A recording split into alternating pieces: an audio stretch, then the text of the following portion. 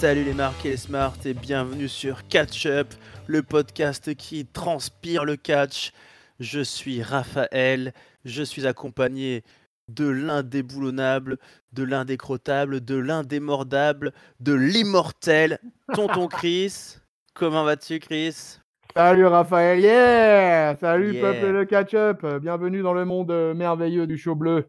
merveilleux du show bleu, le dernier Friday Night SmackDown avant le WrestleMania, le moins WrestleMania de tous les temps. Je pense qu'on Eh peut ouais. l'appeler comme ça. Je crois, ouais.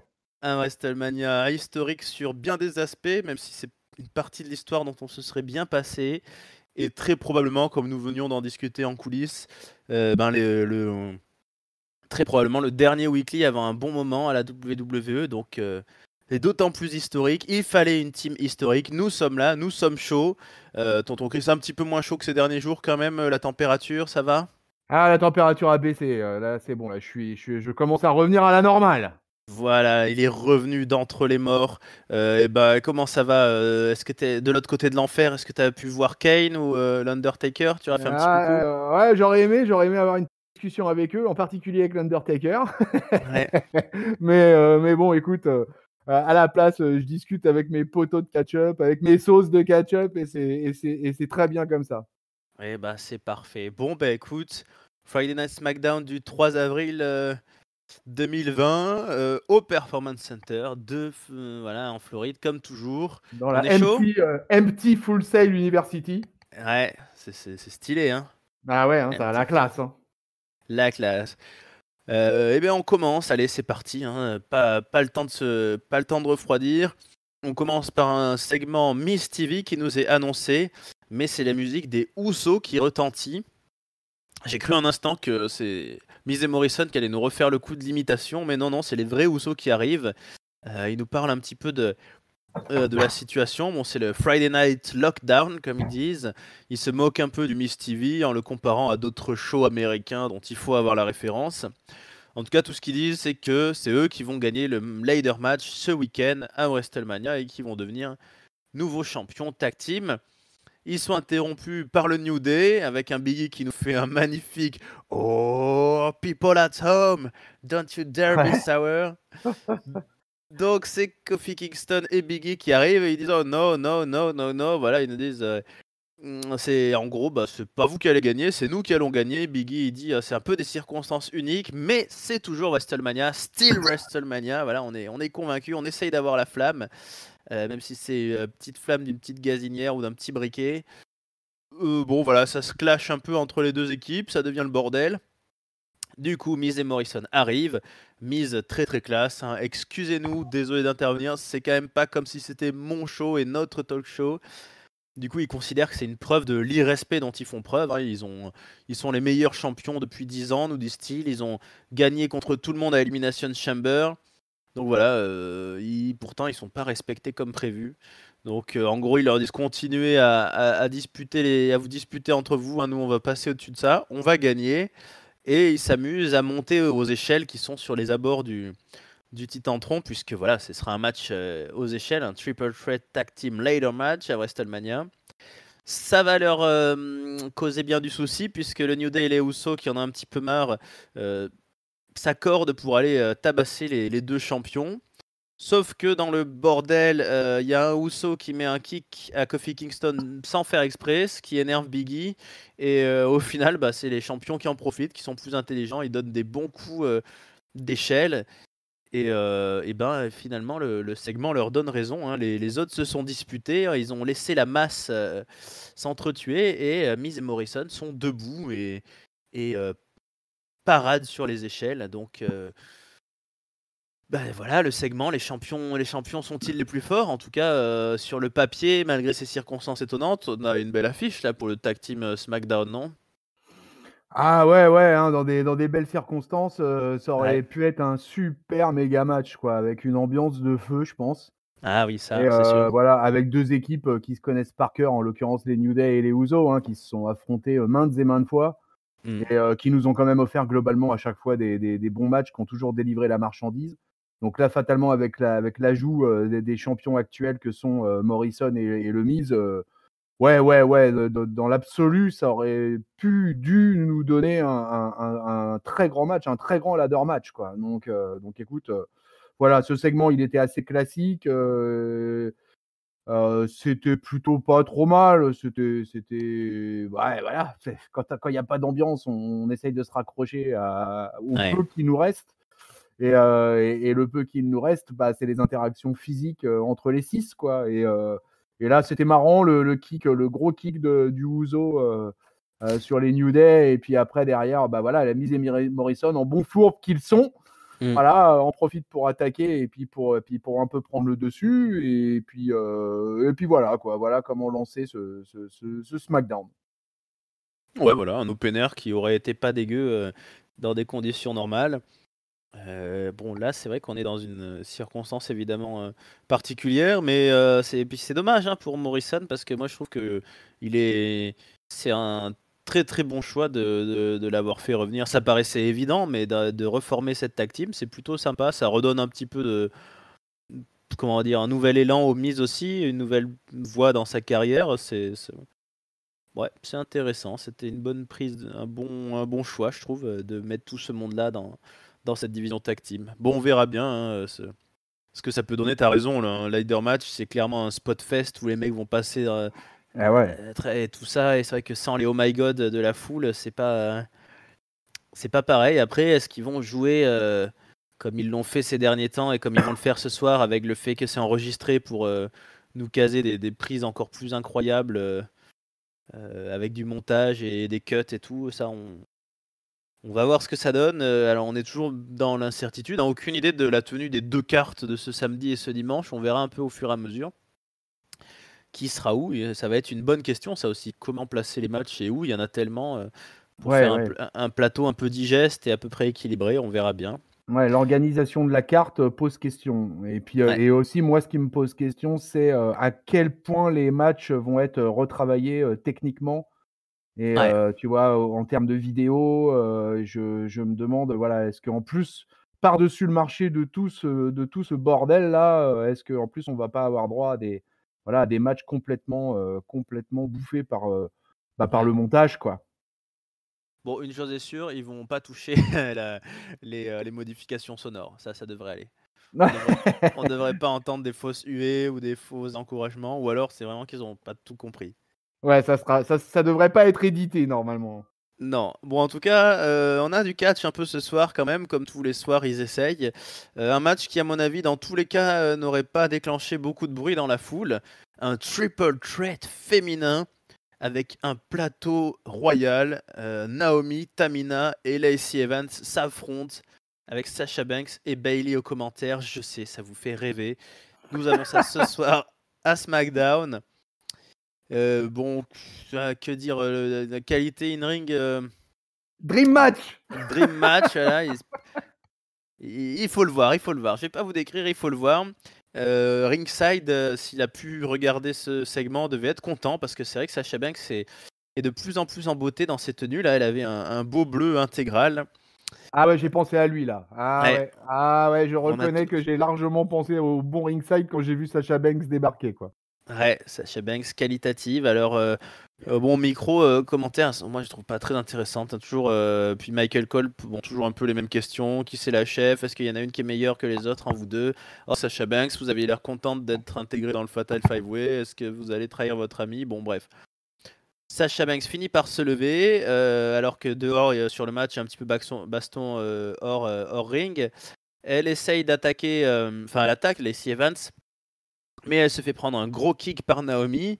Euh, Naomi qui remonte sur le ring, qui se retrouve en face à face contre Tamina. Euh, les deux jeunes femmes euh, s'affrontent. Alors il y a Naomi domine d'abord, puis Tamina reprend un petit peu le dessus avec un, avec Samoan drop. finalement, Bailey, elle aussi, décide d'intervenir. Elle, fait un coup de la guillotine à Naomi, ce qui permet à Tamina de placer un kick et de gagner cette affiche. Donc le triple threat est gagné par Tamina.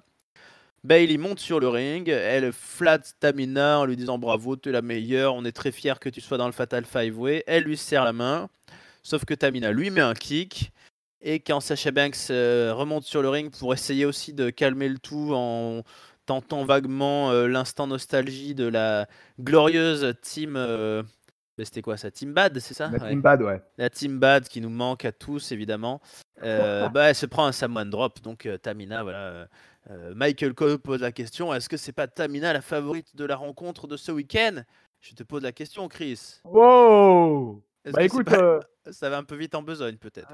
L'arrivée de Tamina déjà m'a fait rire parce que l'incrustation, tu sais, qui présente les catcheurs sur le côté de l'écran, rappelle voilà les hauts faits d'armes du catcheur en général. Mmh. Et le haut fait d'armes de Tamina, c'est être former 24-7 champion. Yeah. et donc, du coup, derrière, on a distribution de, super kick de Tamina et Samoan Drop pour terminer sur Sacha, qui pour le coup n'a pas du tout, du tout du plaire à ringside. Et, et nous a présenté une powerhouse féminine très très forte je pense que Tamina, ça faisait euh, des mois, voire des années qu'on ne l'avait pas présentée aussi forte avant un match. Hein. Euh, et, bon, et globalement, le match était court, assez mauvais et, euh, et vraiment, franchement, sans intérêt. Et comme tu l'as dit, les commentaires en plus ont été assez relous parce que vraiment, Cole ne nous a parlé que d'une seule et même chose pendant tous les commentaires. Et, et c'était pas, c'était pas folichon cette histoire. Hein. Mmh. Donc, donc, écoute, voilà, donc ce Fatal Five Way là, comme on l'a dit, euh, Dream Match euh, ou pas. Ouais.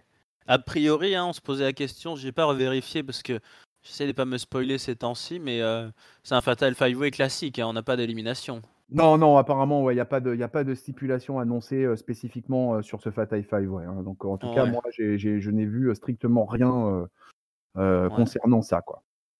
Moi, en tout cas, j'ai dans ce court match, comme tu l'as dit, j'ai vu quand même quelques approximations hein, entre parfois entre les femmes, donc je suis pas très optimiste. On verra bien ce que ça donnera. Euh, ce, ne sera pas forcément beaucoup plus long que ça, je pense. Ouais, je, moi aussi, c'est un peu la sensation que j'ai. Hein. J'ai un, peu l'impression que ça va être un match assez court. Mm. Euh, et puis, euh, bah, vu la qualité, vu le line-up, hein, de toute façon, on peut pas s'attendre à quelque chose de qui nous fasse rêver plus que ça. Est-ce que entre Dream Match et Nightmare Match, euh, on sera euh, voilà peut-être à la frontière entre les deux Bon, on verra bien, c'est sûr. Euh, parlons de Dream Match, ben on enchaîne. Hein. On sort le coffre à catch. Alors là, on a un vrai coffre à catch hein, cette semaine. On a un vrai match vieux parce que bon, c'est pas, c'est sympa de nous faire passer le, le main event du WrestleMania d'il y a un an.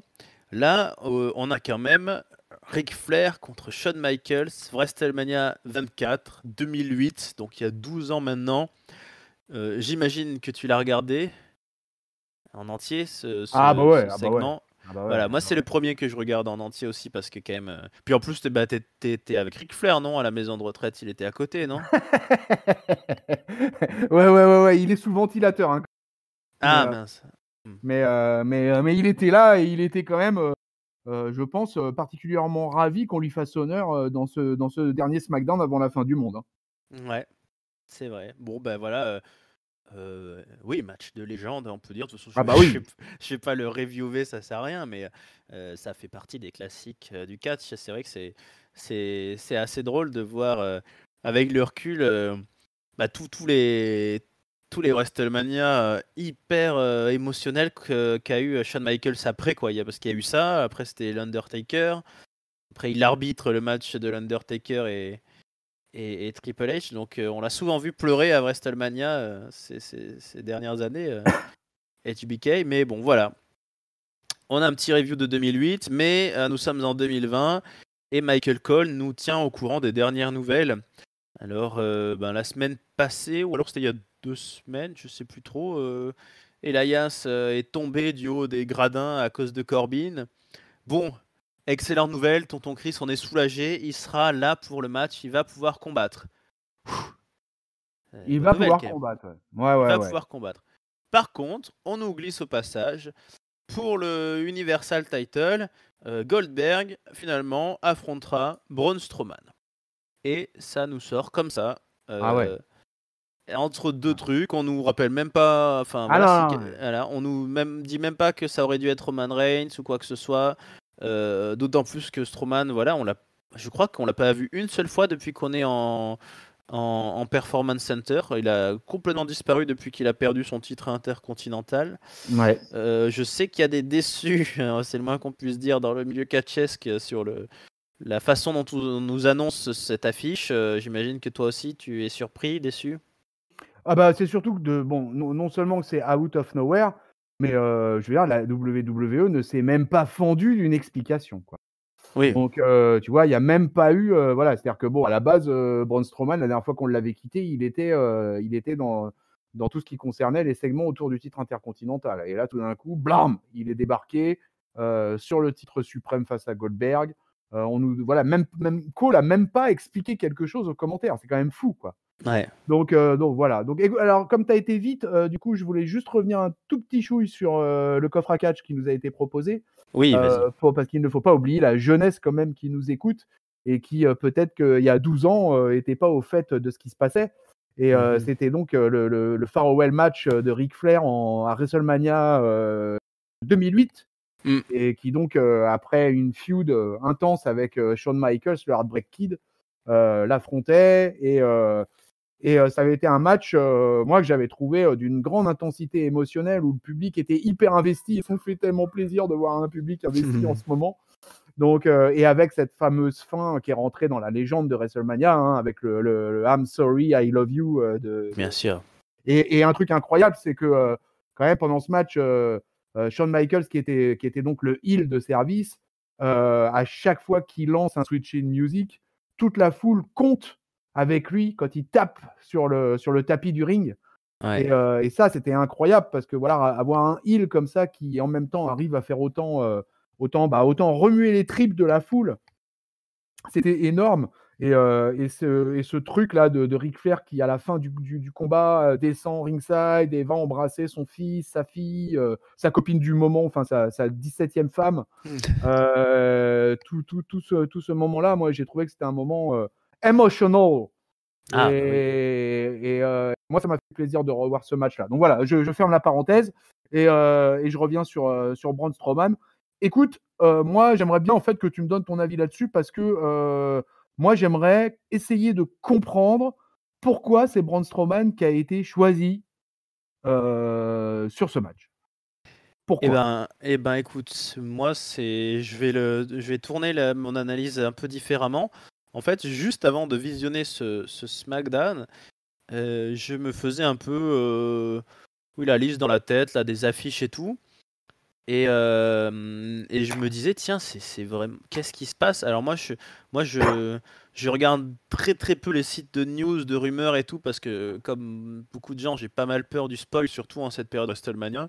Donc j'avais pas envie d'apprendre un retour surprise ou un truc.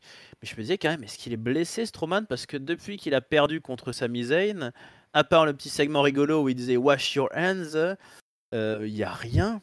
Il y avait rien. Ah. Alors, euh, en fait, j'ai envie de dire, pourquoi Braun Strowman euh, je, La raison à laquelle je vois, c'est que c'est ben, Roman Reigns étant out, on va dire, c'est le seul catcheur disponible euh, dont l'aura, la force physique, le, tout, le background peut être d'un Goldberg level, mais je me dis, euh, en fait, ma question qu'on ne saura sûrement jamais, c'est qu'est-ce qui aurait été prévu pour Strowman en temps normal? Heureusement qu'il était là, dispo, avec aucune feud, aucune rivalité, aucun programme pour qu'on le casse comme ça à la dernière minute, parce que euh, qu'aurait fait Strowman sans ça? C'est bizarre en fait de l'avoir. Euh, euh, parce que là, la défection de Roman Reigns, ça fait une semaine qu'on le sait, mais la, road to WrestleMania, ça fait, ça fait un mois qu'elle est en cours. Donc, moi, je, je, suis en fait plus surpris de ça qu'il qu'il avait absolument rien de prévu. Alors, peut-être qu'il devait être dans la André the Giant Battle Royale ou je ne sais quoi. Mais bah, on peut faire le tour de la question différemment. Hein. Qui, à part Braun Strowman, c'est ça qui est un peu difficile à évaluer aussi. Moi, la seule explication, si tu veux, c'est que je pense qu'ils ont choisi Strowman parce que finalement, euh, ce match euh, Goldberg-Roman Reigns, bah, ils ont voulu garder euh, le principe d'un match de Golgoth. Quoi. Ouais, ils se sont dit que bah, le seul qui était susceptible de pouvoir remplacer Roman Reigns dans ce, dans ce match de super heavyweight, bah, c'était Strowman. On n'allait pas mettre Tucker, hein. Donc, ah bah donc, euh, donc euh, je pense que voilà, je pense que c'est ça qui a, qui a, finalement qui a conduit la WWE à, à mettre, à mettre Strowman dans l'équation. Moi, je, je ne vois pas d'autre explication. Bah, il, faut, il faut quand même quelqu'un qui soit du, prestige d'une affiche universelle. Et c'est vrai que bah, Strowman a, un très petit palmarès, mais une belle carrière. Hein. Il en a eu des matchs contre, bah, contre Lesnar, contre Roman Reigns. Ah ouais, moi je vois, comme tu dis, je vois, euh, il n'y aurait pas eu grand monde euh, avec la même aura. Enfin, effectivement, on n'allait pas mettre euh, ni Bobby Roode, ni, ni Tucker. Et puis bon, comme on sait que Goldberg en général, bah, il fait des matchs vite, hein, il veut, ça dure pas très longtemps, ça, ça limite aussi quoi. Tu...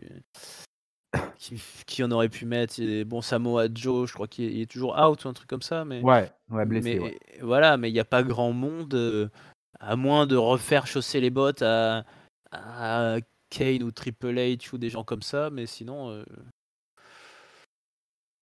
oui, c'est un choix qui s'impose un peu euh, de lui-même en fait. Mais euh, je sais pas, je sais pas du tout ce qui. enfin, ça fait bizarre pour Braun Strowman de se retrouver propulsé là alors qu'il avait absolument aucun segment depuis, plus d'un mois quand même. Oui, et qu'il n'avait pas été mis en plus dans la picture du titre suprême depuis un sacré bail, quoi. Donc, euh, donc là, tout d'un coup, il se retrouve euh, avec un title shot euh, pour le titre suprême de SmackDown. voilà, vraiment. Out of nowhere, cher à Randy Orton. Ouais, tu poses une bonne question. Je pense que la dernière fois, c'était quand il avait ce Money in the Bank de sinistre mémoire dont il a absolument rien fait là. Euh, quand il a caché sur Roman Reigns, quand il y avait le reformation du Shield, oh c'était pas très bon tout ça. Et son, dernier title shot euh, datait euh, de Brock Lesnar. Et comme Brock Lesnar ne voulait absolument pas travailler avec lui, ça avait été vite, ça avait été vite expédié ça. Hein. Ouais. Bien, ben voilà, hein, une affiche qui change, dernière minute, ça, ça arrive.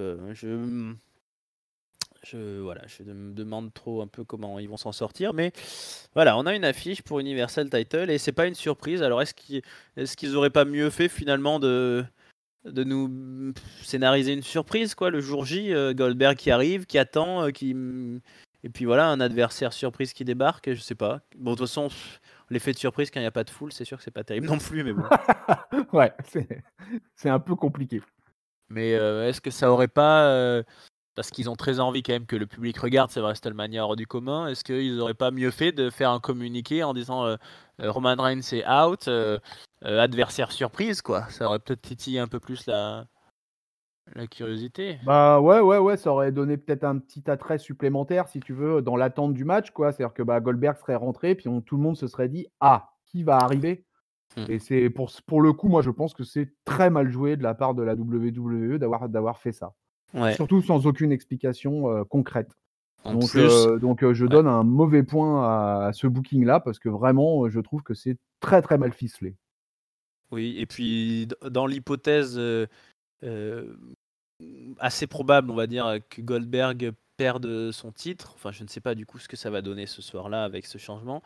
L'effet de surprise aurait pu légitimer, enfin aurait pu être scénarisé quoi. Bon, oui. Enfin, voilà. On sait pas. Enfin bref, on sait pas. Euh, et, on verra, mais en tout cas maintenant on sait qui, qui remplace Roman Reigns. Voilà, c'est son rival de toujours. Hein, finalement, il y a une continuité aussi. Roman Reigns a été une grosse FUD euh, pendant des mois, donc euh, et c'est toujours mieux que Baron Corbin. ah bah ouais, ah non, voilà, ça aurait été. Ça, aurait été, horrible, quoi, horrible, totalement horrible. Ah ouais, non, non, non, non, j'aurais pas pu, j'aurais mis mon masque chirurgical, hein, je pense, sur les yeux et pas sur le nez. Ah oui, je pense aussi. Bon, dans les, dans, dans, les histoires horribles, nous partons sur quand même oh le très très très très gros segment de ce Friday Night SmackDown. Le, le point culminant, j'ai pas peur des mots. Heavy Machinery est en coulisses. Euh, Mandy Rose avait croisé Tucker un peu plus tôt en lui demandant comment allait euh, Otis. Donc, euh, ben, Tucker il transmet, hein, c'est un bon ami. Il dit Voilà, Mandy, elle m'a demandé tes nouvelles, mais, mais bon, faut pas non plus que tu, tu, tu te fasses des illusions. C'est plus par gentillesse, je pense. Euh, Tucker, il a un match prévu contre Dolph Ziggler là ce soir même, alors qu'à WrestleMania, c'est Otis qui aura un match contre, contre le blondinet. Mais Otis, il reçoit un SMS de Mandy Rose a priori, donc euh, il dit bah je, dois y aller, je peux pas, je peux pas assister au match. et là encore, je le dis d'une manière plus, plus humaine que ce que Otis baragouine. En tout cas, on a un match Tucker contre Dolph Ziggler. Euh, première fois, je crois, qu'on voit Tucker tout seul. Ouais, je crois bien. Hein. je crois bien. Ouais. Voilà, un grand gaillard. Alors c'est vrai que tout, m'a fait un peu penser à comment il s'appelait Big Cass là, de Sinistre Mémoire. Mais, euh, euh, voilà, il est grand, il a des grandes jambes. Il a envoyé des grands kicks dans la gueule de Dolph Ziggler qui continue depuis 15 ans à faire du selling comme il sait faire. Euh, à un moment donné, il lui fait une espèce de grosse souplex là, à Dolph Ziggler qui roule à l'extérieur du ring. Donc on part dehors, Tucker utilise la table, utilise les, barricades, il envoie même Dolph Ziggler dans les escaliers. on, voilà, on essaye de nous faire croire que Tucker est, très très énervé de tout ce qui s'est passé. Il veut faire payer Dolph Ziggler. Moi je trouve niveau acting dans son visage ou autre, il n'a pas l'air spécialement énervé. Hein. Il déroule un petit peu ses prises, mais bon, il fait son job. Tucker tente un tomber pardon, au milieu du ring, mais Dolph Ziggler a le pied sur la corde, il casse le tombé. On repart euh, à l'extérieur, mais Dolph Ziggler triche, il triche le fourbe. Il met ses doigts dans les yeux de Tucker qui n'y voit plus rien. Puis il lui fait un monumental zigzag sur les escaliers, sur la rampe d'escalier qui a été désolidarisée par Tucker, donc sur, sur, la, sur la partie des grandes marches. Ça, l'arbitre, il aime pas. Il, déclenche une disqualification. Il l'a pas fait d'ailleurs quand, quand, Ziggler a mis les doigts dans les yeux, ce qui m'a un peu surpris. Donc disqualification, Dolph Ziggler euh, a pris dessus maintenant et le vétéran euh, domine le, petit jeune. Il prend l'escalier dans les mains, il veut visiblement faire mal à Tucker, mais Mandy Rose et Sonia Deville arrivent. Euh, non, non, Dolph, ne fais pas ça. T'as pas besoin de faire ça. Otis se précipite aussi pour venir à en aide à, son ami pour voir comment va Tucker. Sauf que là, il y a un truc qui apparaît, un truc j'avais remarqué ça ces dernières semaines, mais j'ai toujours oublié d'en parler dans les reviews ou quoi. Une espèce de petit cercle, euh, de petits ronds avec des petits points euh, euh, comme quand on charge une vidéo ou autre, qui arrive au milieu de l'écran. Et tout d'un coup, comme si quelqu'un était en train de hacker le système, on voit marqué Truth will be heard, donc la vérité va être entendue et on voit un personnage qui est devant des écrans, euh, cagoulé, de dos, on dirait un petit peu le, méchant de l'inspecteur Gadget, le Dr Mad. Certains ont la référence, euh, voilà, vous avez la même jeunesse que moi. Et, euh, et cette personne, avec une voix de robot, nous dit, bah voilà, la vérité est partie on voit sa main appuyée sur le bouton. Euh, c'est une main blanche, donc euh, la vérité, truth, c'est pas hard truth. Moi, j'ai un peu déçu que ça soit pas ça. Euh, c'est presque une main. Il faudrait la revoir au ralenti. J'ai l'impression que c'était une main féminine, moi, mais on ne sait pas. Bref, tout d'un coup apparaissent des vidéos de caméras, de vidéosurveillance qui ont été enregistrées, où l'on découvre que Mandy Rose, elle dit à Sonia Deville qu'elle aimait bien Otis, qu'elle le trouvait mignon, un peu bizarre, mais, mais quand même gentil. Et en fait, c'est Sonia Deville, la méchante, la fourbe, on s'y attendait pas, qui vient effacer certains commentaires sur le téléphone de, de, Mandy Rose, qui envoie des messages à Otis. Bref, on comprend pas trop ce qu'elle fout, mais en tout cas, un peu plus tard, on la voit avec Dolph Ziggler, ils discutent euh, et ils sont en train de manigancer. Euh, Sonia disant euh, notamment, voilà, c'est dans ton intérêt, c'est dans mon intérêt, on est gagnants tous les deux. on comprendra Enfin, moi perso, j'ai pas trop compris exactement qu'est-ce qu'ils avaient tous les deux à gagner. Bon, pour faire du mal à, Otis et pour que Ziggler puisse pécho Mandy, j'imagine. En tout cas, voilà, la vérité a éclaté. Mandy Rose est dégoûtée, elle quitte le ring, elle s'en va. Sonia Deville est en larmes, elle dit Mais je voulais pas te faire de mal, euh, comprends-moi, explique, écoute-moi. Et euh, Dolph Ziggler, lui, essaye de s'enfuir. Bon, il se fait un peu rattraper par Otis, mais quel, quel, oh là là, quelle oh, tension, quel... mélodrame, Chris. Qu'est-ce que, est-ce que ton cœur a tenu le coup? Quel calvaire. Oh là là, mais comment je m'en fous, quoi. Mais alors, mais comment ça ne m'intéresse pas? Comment je suis. Alors, tu vois, en regardant ce segment, je pensais à un, un forumeur euh, des cahiers du catch qui s'appelle Cypher. Je ne sais pas s'il nous écoute, mais en tout cas, je te fais un big up, Cypher.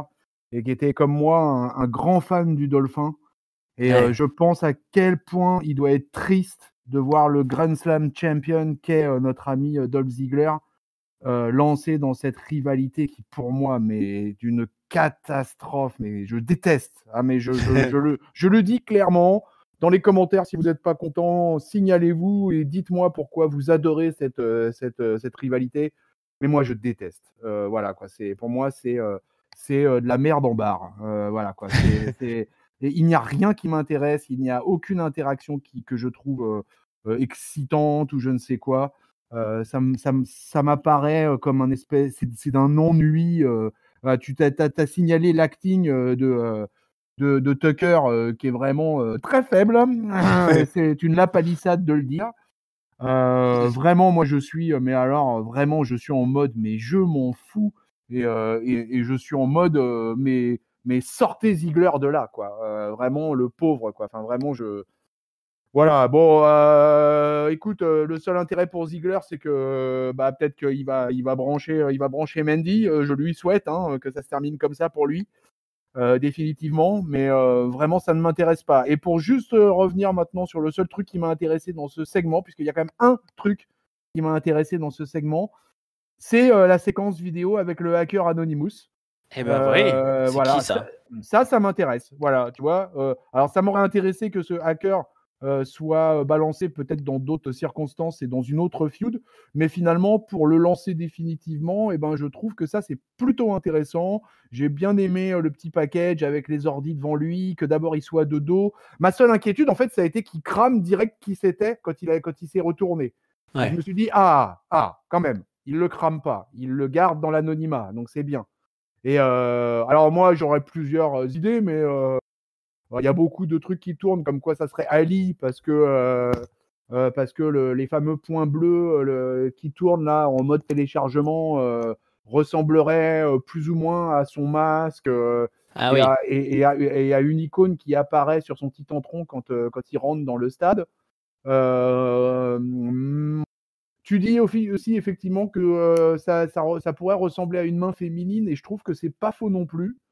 Euh, parce qu'en plus, comme il crame, pour, pour sa première apparition, bah, c'est les filles qui crament, c'est les filles qui sont impliquées dans le segment. Donc effectivement, pourquoi une femme ne serait pas le, hacker Anonymous? Pourquoi pas? Euh, Mais du coup, ça, ça m'intéresse et effectivement, euh, j'espère qu'ils vont un peu développer ce personnage qui va hacker plusieurs rivalités dans le futur, qu'on va pas le voir se, se, découvrir trop vite et que et qu'effectivement, il va balancer du dirt sheet comme ça euh, à l'avenir. Euh, ça, ouais, ça a été finalement le point positif pour moi de ce segment que j'ai trouvé, euh, sinon totalement catastrophique. Eh ben, je te rejoins. En fait, pour moi, ça un peu. C'était une FUD qui était inintéressante. Ça, c'est clair et net. ça, pour moi, ça lui fait prendre une légère autre dimension, dans le sens où ça peut nous faire apparaître un, un nouveau personnage. Moi, j'ai plutôt envie que ça soit un, un nouveau personnage. Alors les circonstances sont bizarres, mais n'oublions pas que en général post WrestleMania, c'est toujours le moment pour lancer aussi des catcheurs de, de NXT ou d'ailleurs. Donc euh, moi je voyais plutôt quelqu'un de nouveau. Je n'ai pas pensé à Ali ou autre. Euh, et puis je suis comme toi, j'aimerais bien que cette gimmick euh, de hacker anonyme qui nous donne un peu les, secrets de certaines intrigues reste un peu plus longtemps et pas juste, pas juste pour cette fête parce que ça serait un petit peu con. Après, à, voir, à voir ce qu'ils lui font faire et qui se cache derrière. disons que le côté hacker qui possède un ordinateur et tout euh, légitime un peu plus ces segments euh, de vidéosurveillance que quand c'était là les horribles moments où on voyait euh, Alexa Bliss qui bitchait Nia Jax ou autre en nous disant oh on a laissé la caméra aller. là au moins il y a une il y y a une logique, il y a une légitimité quoi. Ouais et puis c'est dans l'air du temps ça reprend voilà un petit peu toute cette toute cette comment dire tout ce truc autour des Anonymous, je trouve. moi, ça, du coup, ça, a tendance à m'intéresser. je trouve que c'était pas mal foutu, que c'était pas, que l'idée est pas mauvaise et que et que c'est juste dommage que ça soit dans le cadre de l'exploitation d'une d'une feud avec Otis et, et Ziggler et Mandy Rose quoi. Ouais, bah écoute, on, va, on verra bien. Euh, en tout cas, ça nous fait un, match de WrestleMania auquel on, auquel on ne s'attendait pas. On verra bien. Bon, après le Dolph, moi je, je suis un grand fan de Dolph Ziggler. Euh, je tiens toujours quand même par, par justice à rappeler que que ce soit de l'époque de Vicky Guerrero, de AJ Lee ou de Lana, il a quand même en 10 ans de carrière, il est un peu habitué au segment euh, amour, gloire et beauté parce que ouais, ouais, ouais, ouais, c'est vrai. Mais en général, il était dans des dit amour, gloire et beauté, mais où il y avait des finalités avec, euh, avec, euh, avec une ceinture, avec, euh, tu vois, il a, grâce, à Biggie, grâce à Biggie, grâce à différents personnages comme ça qui ont traversé sa carrière, il a glané des ceintures. Et, et mine de rien, le Dolph, il est Grand Slam champion, quoi. Ah bah oui, c'est sûr. voilà, voilà, ce type, ce type, il a quand même une sacrée grosse carrière. Et pour moi, le Dolphin sera un Hall of Famer à la fin de sa carrière. Oui, ah, c'est sûr. Mais, euh, mais oui, c'est sûr que là, il est dans le, il est dans le bas du panier, on va dire. Il est dans Ah le- ouais, là, là, bah là, là, c'est il de la card. Ah bah ouais, ouais, là, on est complètement dans la low card.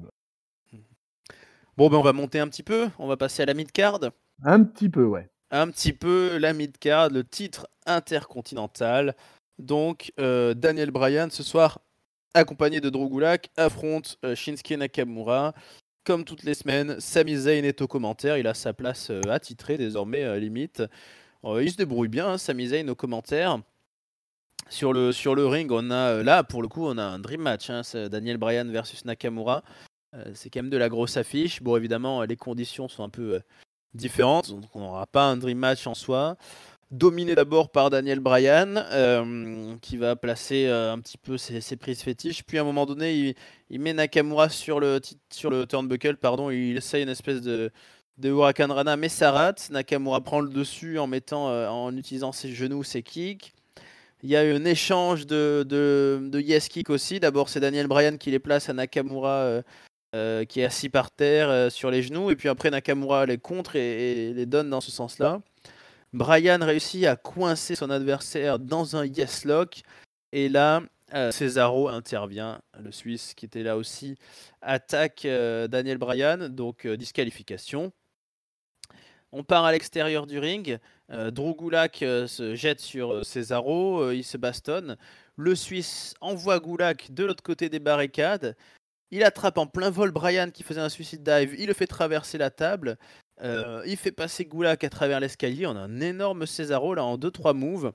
Et, euh, et ben voilà, euh, ça, finit sur une nette domination des, artistes, comme ils s'appellent, des méchants, puisque Gulak étant neutralisé, Daniel Bryan au milieu du ring va se prendre un neutralizer, un Kinshasa et le Haluva Kick de Sami qui a daigné quand même un petit peu utiliser ses talents catchesques.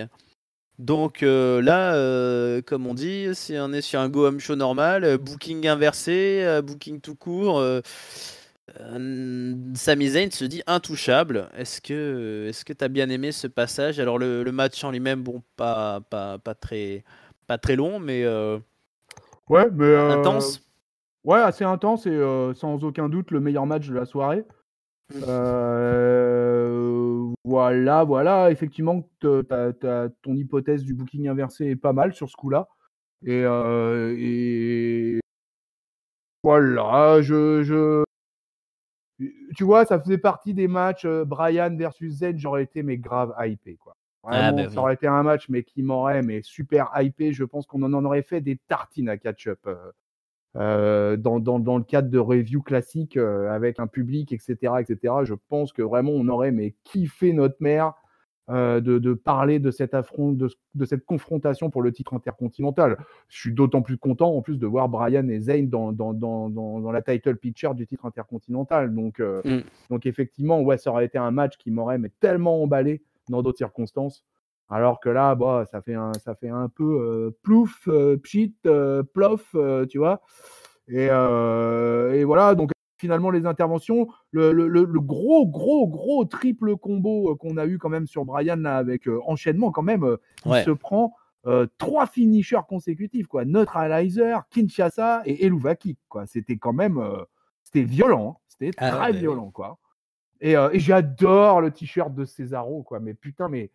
Mais, euh, mais J'ai envie de l'acheter. ah, mais moi, putain, mais je kiffe son t-shirt, là, le wrestling puriste, là, je le trouve, mais euh, j'adore ce t-shirt, quoi. C'est vraiment, Mm. c'est, pour moi, là, de ces dernières semaines, c'est un des plus beaux t-shirts qu'on ait vu à la WWE, quoi. Et, euh, et voilà, donc du coup, interaction, interaction assez sympa.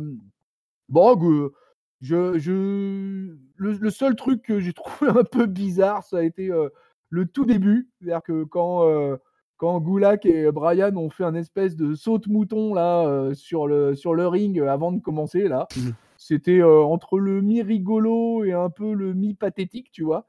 Et, et voilà, et voilà. Donc voilà, je, je, je confirme voilà, que effectivement c'était un match qui à la base aurait pu, aurait pu mettre votre tonton Chris dans tous ses états. Voilà, ça sera pas vraiment le cas, il faut bien que je le reconnaisse. Là, les, les états sont les états sont durs en ce moment. Mais euh, bon, on peut pas leur reprocher, en tout cas euh, sur ces dernières semaines, d'avoir euh, tout fait pour construire à peu près normalement une FUD qui, en, oui, qui implique en plus pas mal de, monde de qualité. Moi, j'aime bien Sami Zayn en champion intercontinental dans, dans cette gimmick-là. Enfin, je trouve que c'est une révélation. Là, le heal qu'il est est assez parfait. Mais j'ai bien envie ah de j'ai bien envie de voir Brian gagner pour que ensuite les autres viennent se frotter à lui. Là. Euh, Nakamura et puis Cesaro un peu derrière. J'aimerais bien voir ces gens-là euh, contre Brian dans, le, dans un titre euh, intercontinental en jeu. Mais on verra bien tout cela un peu plus tard dans les semaines à venir, ou les mois à venir en tout cas, à la WWE. Parce que bon, c'était quand même. C'était quand même une road to WrestleMania très très particulière et ça va donner un WrestleMania très très particulier et ce sont les mots de euh, John Cena qui va nous emmener dans le main event, dans le dernier segment de ce dernier show. Il reprend un petit peu les tournures de Paul Heyman à, Raw. Voilà, il, il en profite, John Cena. Alors ça, c'est assez finement fait, je trouve, de la part de la WWE. Euh, il en profite pour euh, avouer que, ben, avec ce show dans le Performance Center depuis un mois, on navigue un petit peu à vue. Il y a eu des bonnes choses, il y a eu des choses un peu moins bonnes. Euh, donc il remercie tout le monde, le public et tout, bah, tout le monde, tout le WWE Universe d'avoir euh, traversé. Il continue cette métaphore, euh, la métaphore des bateaux pirates qui était un peu la gimmick de WrestleMania cette année. Voilà, on a tous traversé, on a tous navigué dans ce mois un peu bizarre sans trop savoir où aller. Donc c'est, enfin, voilà, moi j'ai trouvé ça pas mal joué de nous rappeler, voilà, d'essayer de, titiller un peu notre notre côté euh, on va dire, notre euh, côté solidaire envers la WWE, notre compassion. Euh, voilà, tout le monde se demande ce qui va se passer. on ne sait pas trop ce que ça va donner. Mais du coup, il prédit quand même, Sina, que ça va être très regardé parce que tout le monde va regarder en se demandant mais qu'est-ce qui va bien pouvoir se passer? Et il dit bah, par exemple, moi, voilà, j'ai un challenge pour un Firefly Funhouse match. Bah, bah, j'ai demandé autour de moi, personne ne sait ce que c'est. Bray Wyatt, sûrement, il sait même pas ce que c'est non plus, mais justement, euh, The Fiend, il aime ça, il aime euh, qu'on sache pas, parce que ne pas savoir, c'est la peur, la peur, c'est la panique. Et The Fiend, voilà, il se nourrit de ça, il gagne sur notre euh, panique. Mais lui, John Cena, il a pas peur. Il dit Moi, j'ai pas peur du Fiend. Il retombe un peu dans ses vieux travers en se moquant du costume du Fiend. Alors, j'ai des références que j'ai pas trop compris, mais de, personnages, pas, de la culture, plus, je sais plus qui l'a, qui l'a cité, mais bref. Donc euh, voilà, il dit, euh, dit, Goldberg a montré que le film avait des faiblesses. Euh, moi, je vais l'embarrassment, donc je vais montrer, je vais l'humilier carrément. Donc John Cena, il accepte le Firefly Funhouse match. J'accepte votre challenge. Et là, oh yeah, nous avons Rambling Rabbit au bord du ring. Nous avons le petit cochon, le petit ski. Nous avons bah, tout le monde, hein, la, la, sorcière Abigail. Euh, le, euh, le, le vautour, là, merde, comment on appelle le busard, et ils sont tous en train de, de, dire autour de John Cena Ouais, John Cena, tu vas être avec nous pour toujours, forever, forever, forever. Et puis tout d'un coup, les lumières s'éteignent, elles se rallument, The Fiend, et au niveau des. Au niveau de la caméra, il est, euh, il est dans les, au niveau des gradins, là, d'où est tombé Elias d'ailleurs il y a deux semaines. The Fiend est là, John Cena le regarde, puis les lumières se rééteignent, et tout d'un coup elles se rallument, et Bray Wyatt, le, Bray Wyatt classique, celui du Firefly Funhouse, avec son pull rouge, est juste derrière John Cena, il lui dit « Let me in !» John Cena sursaute, les lumières se rééteignent, elles se rallument, et John Cena est tout seul sur le ring. Et c'est ainsi qu'on finit le dernier SmackDown avant le WrestleMania de la fin du monde, le dernier SmackDown de la pandémie, le dernier weekly pour... Euh, pour un bon moment, je pense. Euh, est-ce que c'est pas finalement euh, tout un symbole de ce que la WWE et j'ai envie de dire même la planète entière traverse ces derniers mois L'incertitude, un espèce de menace qui arrive euh, invisible, masquée, sans trop savoir. Est-ce que, est que The Fin n'est pas le coronavirus, tonton Chris? Ah, merci, mon bon Raphaël hier. Ah, voilà un truc qui me donne le sourire. qui sait Peut-être que le film a été faire un tour en Chine bah et, euh, et, le gros salopard derrière toute cette affaire de Covid-19. Ça, ça colle presque. Hein. Il est apparu fin de 2019. Là, on y est. Hein.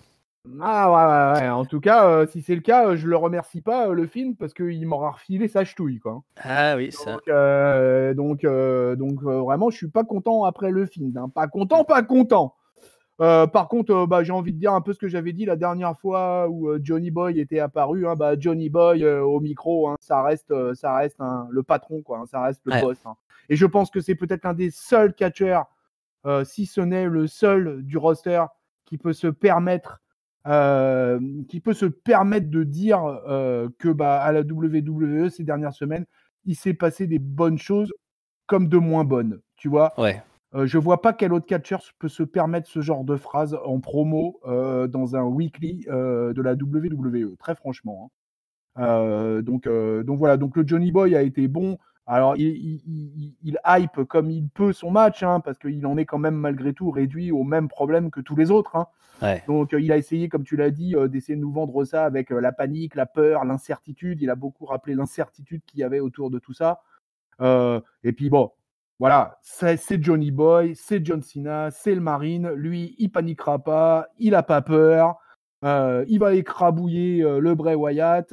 Et puis, et puis j'ai bien aimé qu'il dise qu'il va finir ce qu'il avait commencé il y a six ans. Oui, c'est voilà. vrai. Voilà, tu vois, lui, il se rappelle de ce qui s'est passé au préalable, ce qui n'est pas toujours le cas de certains. Euh, mais, euh, mais lui, euh, lui, il s'en rappelle. Et il s'en rappelle d'ailleurs en disant que non, il va finir ce qu'il a commencé il y a six ans, parce que de toute façon, Bray Wyatt, il n'est pas au même niveau que lui. Et qu'il n'a mmh aucune chance, Find ou pas Find. Donc, donc j'ai trouvé vraiment que sa promo mais collait la route. elle était complètement cohérente.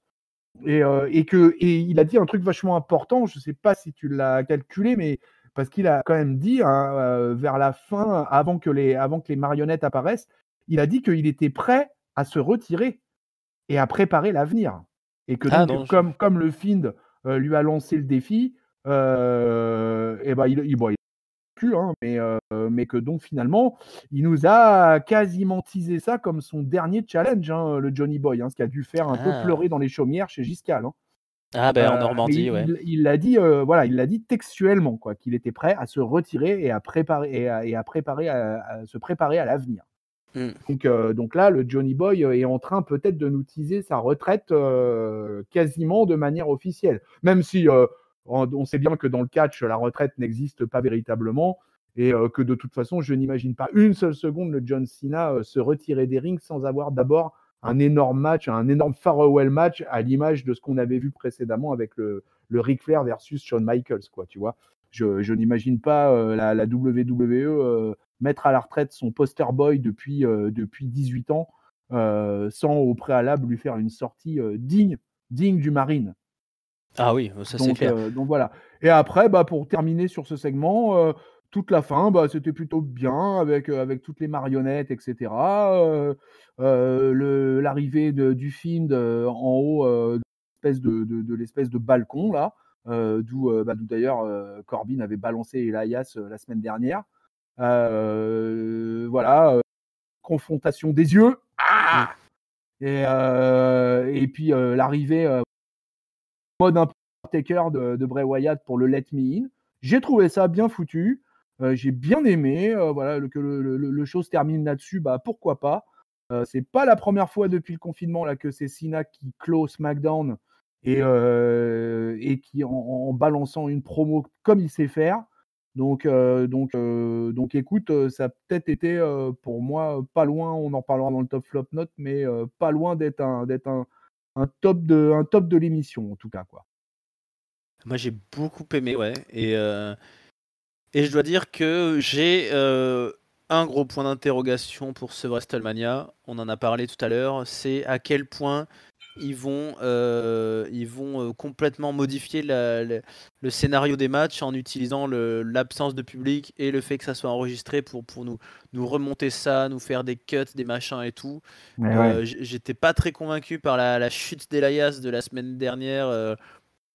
mais là, si c'est de cette qualité-là, parce que j'ai trouvé ça euh, bah, ils, ont, ils ont utilisé l'absence de public parce que clairement le, segment avec toutes les, les, marionnettes au bord du ring, bah, s'il y avait de la foule, ça c'est pas possible.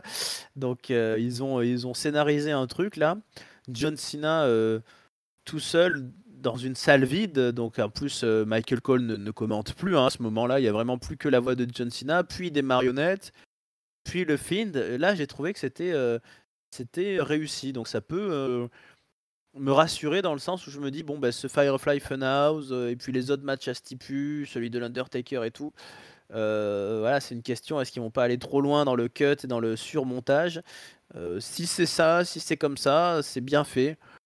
Et moi, j'ai adoré la fin. Alors, comparé à la dernière fois où on avait eu ce, ce face-à-face euh, John Cena Bray Wyatt qui, finissait avec un écran noir et puis, euh, et puis le show s'était éteint là-dessus. Et je me souviens que tu avais été très surpris de cette fin de show.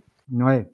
Euh, là, j'ai beaucoup aimé en fait ces 2-3 secondes où, John Cena se retrouve tout seul. Il n'y a, y a, plus rien, il n'y a plus les marionnettes. Limite, il y a, on pouvait presque entendre le vent et voir passer une feuille morte. Quoi. Ça avait un, la, solitude autour de John Cena qui ne s'est-il pas lancé dans un défi euh, trop fort pour lui parce que dans son discours il est, euh, il est assez déroutant. Hein. C'est pas souvent que euh, on va dire, enterre et méprise autant son adversaire. D'habitude il nous dit toujours voilà machin est très fort etc. Mais là comme tu l'as dit, hein, il, Bray Wyatt il veut, il veut, il est pas plus fort que moi. voilà c'est pas lui l'avenir. il prend un peu de haut quand même Cena donc c'est c'était c'était bien. Moi j'ai bien aimé. Ouais, c'était bien foutu cette fin de cette fin de show. Et, euh, puis ben voilà, qu'est-ce qu'on pourra faire? Bon, je suis comme toi. Hein, en plus, il est en bonne condition physique. John Cena, je suis convaincu que ça ne peut pas être son dernier match. D'autant plus que même s'il avait peut-être eu ça en tête euh, avec ce WrestleMania euh, enregistré sans public, c'est sûr qu'il changera, qu'il aurait changé d'avis et qu'il va nous faire autre chose et qu'il va nous faire un farewell match ou un bah nouveau title shot, voire même un nouveau. Je sais pas moi, s'il a, s'il a 3-4 mois de libre dans son emploi du temps, il peut nous faire un run de champion quand il veut, à la limite. Euh. Ouais, pour battre le record définitivement de Ric Flair. Voilà. Euh, voilà, tu vois, passer, à passer à 17 titres et puis être vraiment le seul et unique. Mm. Euh, et puis de toute façon, je n'imagine pas une seule seconde Sina arrêter sa carrière sur un truc pareil de WrestleMania 36. Hein. Ça serait. En plus, là, là, je pense, que la l'IWC euh, déverserait tellement de sauts de merde sur la WWE qu'il reviendrait très très vite en arrière de toute façon. Oui, je pense. Il n'est pas question de faire finir John Cena sur un truc pareil, quoi. Non, non, je pense que ça c'est c'est à peu près acquis. Ben écoute, euh, voilà, hein, je l'ai dit, fin fin du fin du show, du dernier show des shows, euh, petite ambiance de fin du monde, mais nous, on reste debout et on n'en perd pas les bonnes vieilles habitudes. Donc, ben, il faut top, flop et note. Un mot de la fin, mot de la fin de la fin, là, Chris. Hein. Ouais, ouais, ouais, bah ouais, ouais, ouais, mot de la fin. Donc, bah écoute, mon top, flop, note va être assez simple. Euh, mon flop, je le donne euh, segment féminin. Euh, voilà, quoi, que je Lequel? Ah oui, lequel? Les Tous les segments féminins, si tu veux. je... Alors, comme j'ai comme j'ai comme je me suis suffisamment et trop exprimé sur l'histoire Otis Ziegler et que j'ai pas envie de leur donner plus d'honneur que de ça, donc je vais donner mon flop au passage Tamina et compagnie. Euh, voilà, que j'ai trouvé très très mauvais, euh, que j'ai trouvé Bailey encore très très mauvaise, quoi. Mais qu'est-ce qu'elle est mauvaise dans l'acting, oh là là là là là là là, c'est terrible, quoi. Puis alors son t-shirt, alors là, autant, autant, euh, autant je m'incline devant le t-shirt de Cesaro, autant son t-shirt Bailey role model, là, bah, ça me file des, ça, ça me file des, de l'urticaire, quoi. Ah oui, Et alors, donc après le Covid-19, manquiller de l'urticaire, ça le fait pas, quoi. Donc, euh, donc euh, si tu veux, donc voilà, donc sans, sans, sans comme voilà, je, je zappe Otis Ziegler et je donne mon flop à ça, et je donne mon top, bah, ce qu'on vient d'expliquer, je donne mon top à Johnny Boy et, euh, et au Find, voilà, pour le, segment final. voilà, j'ai trouvé cette promo excellente, j'ai trouvé Johnny Boy en forme.